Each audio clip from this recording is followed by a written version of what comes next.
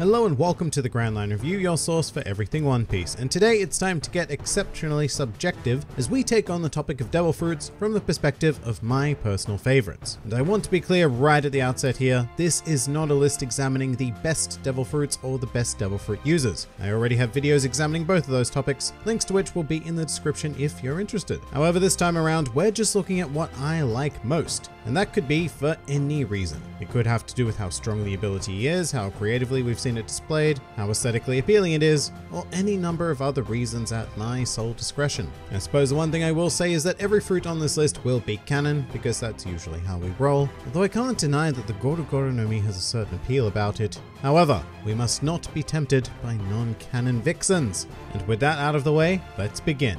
Welcome to my top 10 favorite devil fruits in One Piece. Number 10.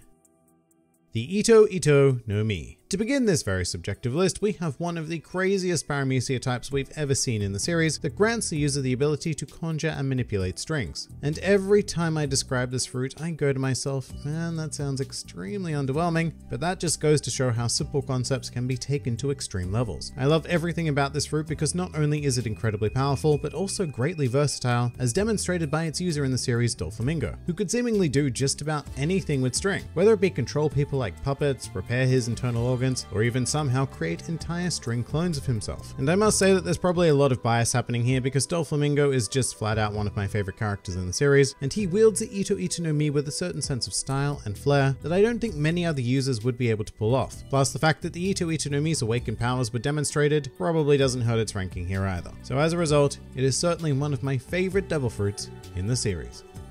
Number 9 the Tori Tori no Mi Model Phoenix. Alright, next up is a fruit that skyrocketed to popularity the very second it was introduced in the series, and it's hard to argue against that, because becoming a phoenix is a pretty dope concept after all. What I personally love most about this fruit though is almost entirely aesthetic, especially as it was presented in the anime with the vibrant blue and yellow flame color scheme. It's a pretty fearsome sight even if the flames themselves aren't capable of inflicting damage. However, to make up for that, the user of this fruit gains access to one of the most incredible healing abilities within the entirety of One Piece. And while these regenerative powers definitely do have a limit, they are exceptionally appealing to me, and plus they can also be used to heal others to a certain extent. Also, by virtue of transforming into a big old burb, you can also fly, and I think that flight is a feature that is highly underrated because the world of One Piece is covered almost entirely in seawater, and so flight, you nerds, are pretty godlike power, especially when you're a Devil Fruit user. But even in the real world, the ability to become a phenomenal phoenix is a pretty desirable thing. I mean, if I was presented with this fruit, I would consume it without a second thought.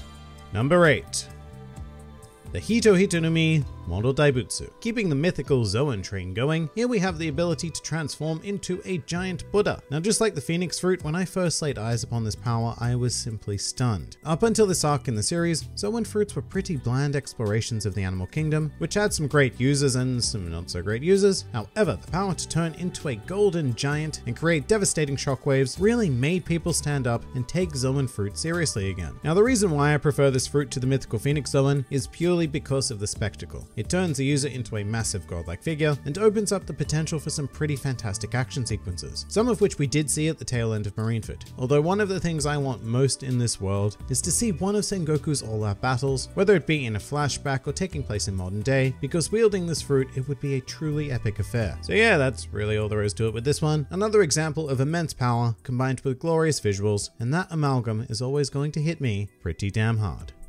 Number 7 the Hana Hana no Mi. Going in the complete opposite direction now, this is a fruit I love almost entirely because of its pure utility. The Hana Hana no Mi is without a doubt one of the most useful fruits for a more mundane daily life application. I mean, I don't think there's anybody in this world who would not benefit from being able to generate extra limbs on seemingly any surface, especially hands. In fact, when posed the question of what manga character he would like to be, Eiichiro Oda himself stated that he would choose the user of this fruit, Nico Robin, so that he could sprout hands and draw manga 20 times as fast. But it works for pretty much any other profession as well, from physical labor to data entry. And that's just considering the power of hands, because we must not forget that this fruit lets you sprout any part of your body, including creepy eyes, and it can be taken to the extent where you can produce full body clones. Plus, in the series itself, Robin's use of this fruit is like crafting a masterwork of art with every technique. The detail that goes into thinking about the infinite number of ways that even simple arms can join and form other objects, or perhaps even come together and just create bigger arms, is just astounding, and I think that one of the greatest shames of the series is that we don't get to see anywhere near enough of this ability.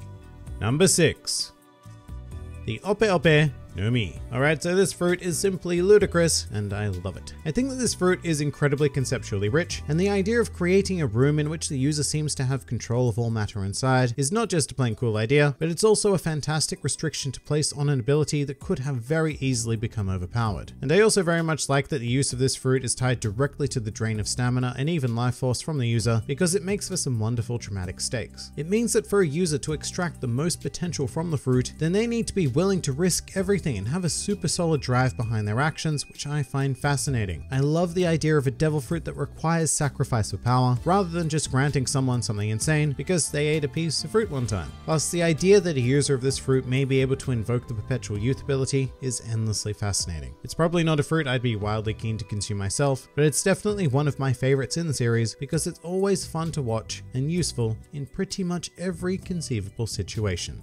Number 5 the Hie Hie no Mi. So everything in this world really boils down to two kinds of people, those that eat ice and those that don't. And I happen to be the former, so the Hie Hie no Mi immediately appeals to someone like me because of the infinite potential for adding ice to my various drinks. But seriously, this fruit is pretty absurdly cool, and I don't think I talk about it anywhere near enough on the channel actually. I mean, even for a Logia, the power of this particular fruit is difficult to comprehend, with techniques like Ice Age which can near instantaneously freeze an entire stretch of ocean and have it be cold enough to last for an entire week before melting. And speaking of, another reason why it's quite a fun fruit is because it's one of the very few that can actually negate the natural weaknesses of becoming a devil fruit user by freezing sea water before you fall in and drown. So it's pretty conceptually appealing to me on that basis alone. However, I think what I really love about the fruit is that it's quite a unique Logia as it actually turns the user into a tangible element. So when it comes to combat, they can still be hit and shattered, which makes for some pretty great sequences. Also, every use of this fruit in the series is drawn superbly by Oda and yeah, just an incredibly big fan of this one.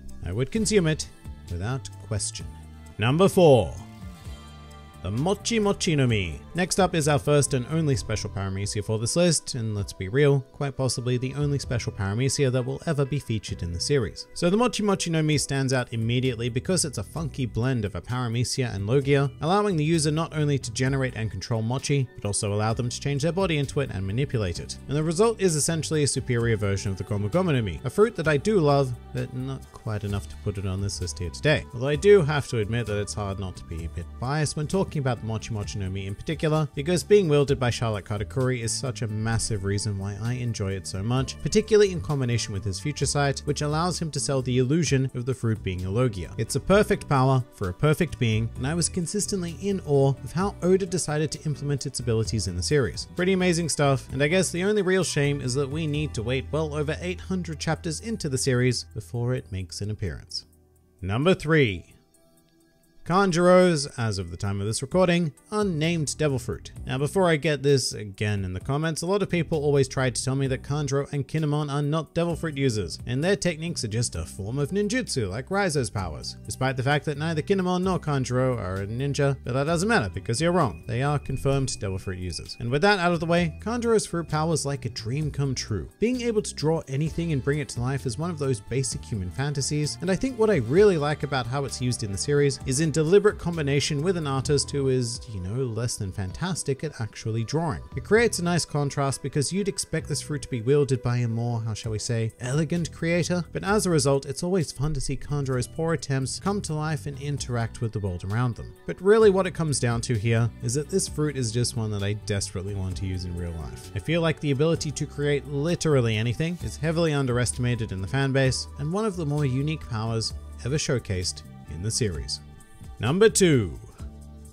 The Goro Goro no Mi. So I don't think I could have ever made a list like this and not include this fruit, and I suppose I should point out that earlier I said that I liked the Ope Ope no Mi because its ridiculous power came with fantastic balance in terms of its cost. However, the Goro Goro no abandons that idea entirely and pretty much just turns its user into an instant Thunder God. This existence is probably the most broken devil fruit ever created, and while something like that would usually annoy me from a narrative standpoint, it's just so awe-inspiring to watch in action. Plus, I do think that narratively it was put to good use, exploring the idea of false gods and faith during the Skypiea arc, and of course it's hard to deny the charm of its user, God And of course, in the case of which fruit I would personally like to consume, it's impossible to ignore this one. The power is just far too great to brush over, and its use is always aesthetically appealing in addition. I quite firmly believe that the Goro Goro no Mi is the best devil fruit in the series as a whole, even more so than my actual favorite fruit, which is still to come.